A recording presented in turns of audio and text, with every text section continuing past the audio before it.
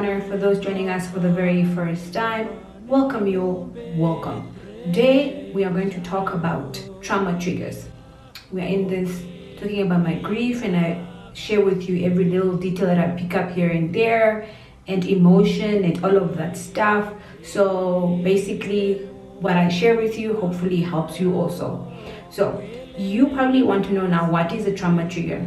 According to Google, grief triggers are those reminders, often unexpected, that in an instant can cause a wave of grief to wash over you or even knock you down. You become distracted from what you were doing and find yourself in pain. A trigger can be anything that brings up memories related to your loss. I'm talking about it because I had an experience of it um, the first time we hit my parents' tombstones, and then the second time of my birthday. I remember when mine happened, and I was not sure what the heck is going on.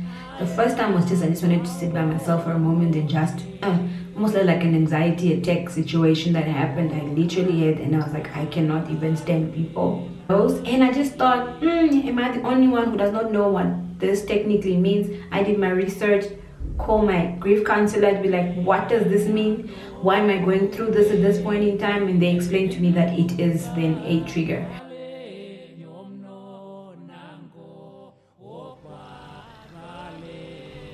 So i'm here sitting in my room on the floor simply because now i miss my parents more. My mom would have called me already and she'd be like dean akokiyentoer wako kane shiri. Woo!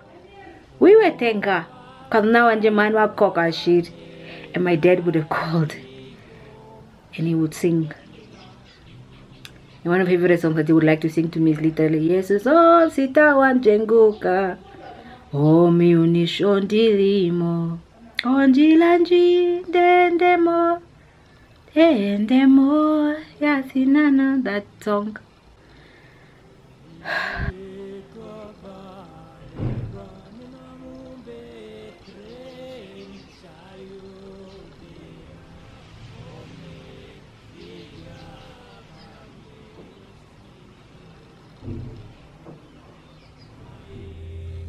Triggers can be caused by sight, sounds, smell, events, and your thoughts. Technically take over your senses. Most of them, they're not.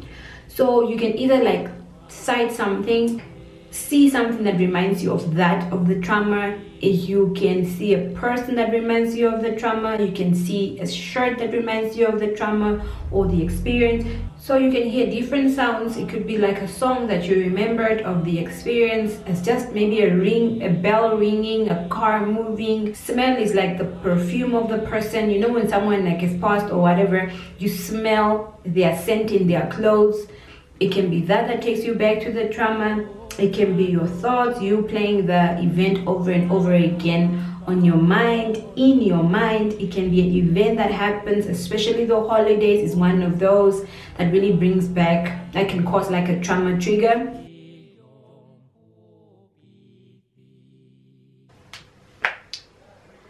I was having a good time for the rest of the day my birthday and then I had a trigger a grief trigger this is so unexpected because i'm really someone who's really good at like holding on to my emotions.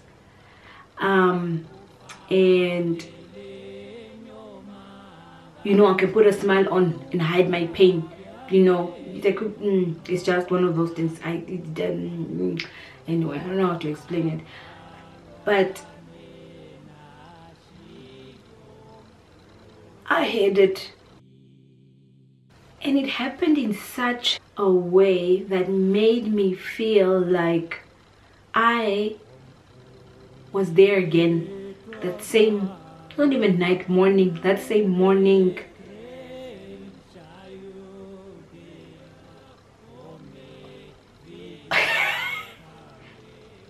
One hour later. Guys it literally took me back to that same morning. And I just started bawling. Mind you, I'm in a club. It's around 10, 11 ish a.m. When 8 p.m. at night, we had just gone and a lounge. And I'm there. This trigger knocked me so off my feet in such a way that I sat in public and cried, wept like a baby. I I cried. I cried for a good maybe 30 minutes. People who were with me would know. And I held on to one of my village people. I know I call them a village.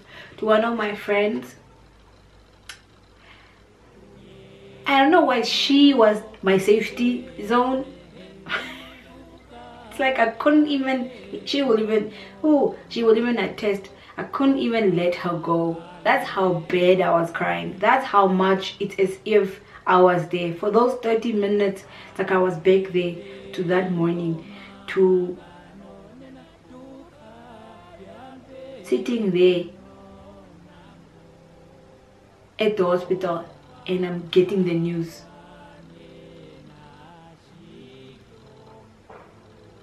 In the early hours of the morning, I was there. And that moment that it knocked me down so much, I could remember exactly what I was wearing that day. I remember exactly who told me the news. I remember their face. I could tell you if I was an artist, I I could I could literally draw the entire scene out for you, word for word. But it felt so like it was the first time I'm hearing it. It knocked me so down and got me so crying.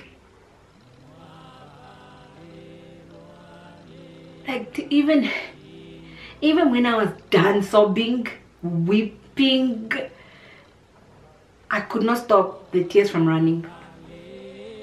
I could not stop the tears from running. I was having conversations with people and my tears is just would just come. So if you find yourself in this situation, what can you do to cope? Basically, you can take deep breaths. Long, deep breaths. Like for my parents so they didn't make me cry. It really just made me to sit in like a very quiet place and sit by myself.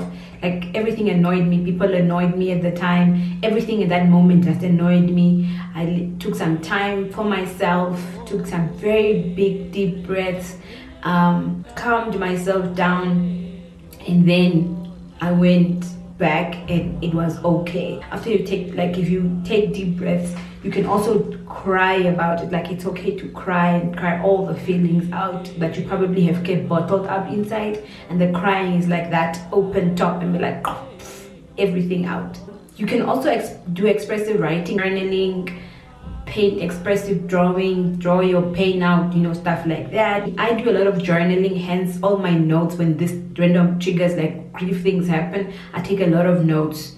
It's not really like a journal of like what my day is like. It's just if something emotional happened just related to the grief that i don't understand i will write it down. You can do then counseling trauma counseling join a support group um, find a friend who you can literally feel safe with enough to share this info. So be mindful of your triggers. What causes the trigger? Is it the smells? Is it the type of scent that you hear? All of that stuff. Um, i also know that i also have like mini anxiety every time i go into church. Uh, so it's literally like a mindful work thing that I have to go to church only because my parents are the ones who introduced us to church. So church is very like our thing, and so it's very weird to go to church and not come back and call them and be like, "How was church? How was your church?" and think about church songs because then for me it constantly brings up that reminder of they're not there you know. So church is also one of those things that also gives me mini anxiety. So be mindful of your triggers. So i give myself time to go and stay away and to go because i really want to get back into going to church. It's just my thing. You don't have to want to do it. But anyway it's just me.